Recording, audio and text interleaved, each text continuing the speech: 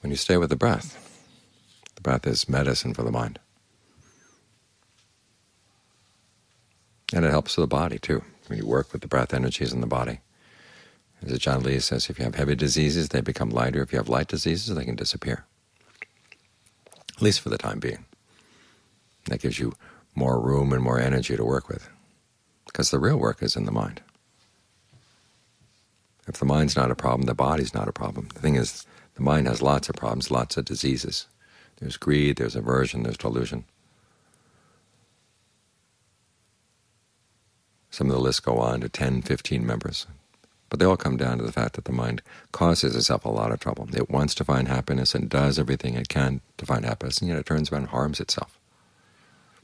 And so the medicine we're dealing with here, or using to treat the mind, is to treat the things that the mind has imposed on itself. We think of all the stresses of living in the human world. But again, there are people who can live in the world and not suffer at all. The arahants don't have to suffer at all, even though they still have human bodies and, and deal in the human realm. That shows that the real suffering is not coming from outside, it's coming from within. So you have to look at your own attachments, look at your own clinging, your craving, your greed, aversion, and delusion in all their various forms.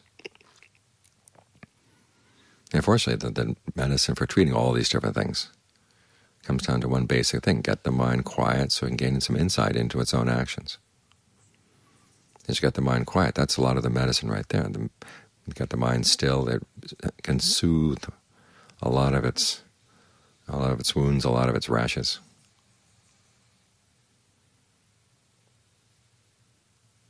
And then you can dig deeper. Why is it the mind keeps on wounding itself again and again? You can treat the disease and then turn around and cause more trouble. It's like someone who's had a bad disease and they know that they're allergic to certain foods, but as soon as they recover, they go back to those foods again. That's the way the mind is, if it hasn't been trained with discernment. That's why concentration on its own is not enough. You've got to use your discernment to figure out why is it that the mind keeps going for things that are harmful. And in some cases, even though it knows they're harmful, it still goes for them. Why is that? You get the mind really quiet so you can see the answer to these questions. Okay, that's when you learn how not to inflict any more diseases on the mind, any more wounds on the mind. As for the wounds that come outside, those will disappear.